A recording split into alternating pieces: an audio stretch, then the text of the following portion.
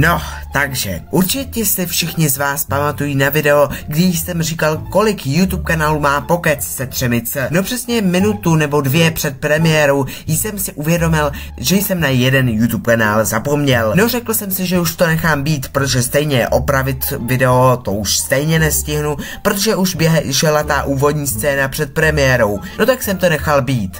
Hodinu po tom, co jsem video vydal, jsem se kouknul na vaše komentáře, jak na Instagramu, tak na YouTube, e-mailu a tak dále.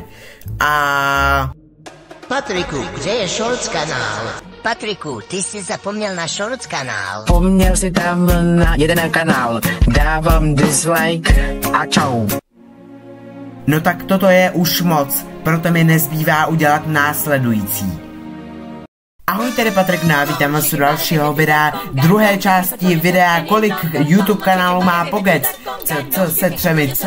No a bez žádného zdržování jdeme na to, startuje video, druhá část, kolik YouTube kanálu má Pokec. Jeho čtvrtým YouTube kanálem je Pokec co?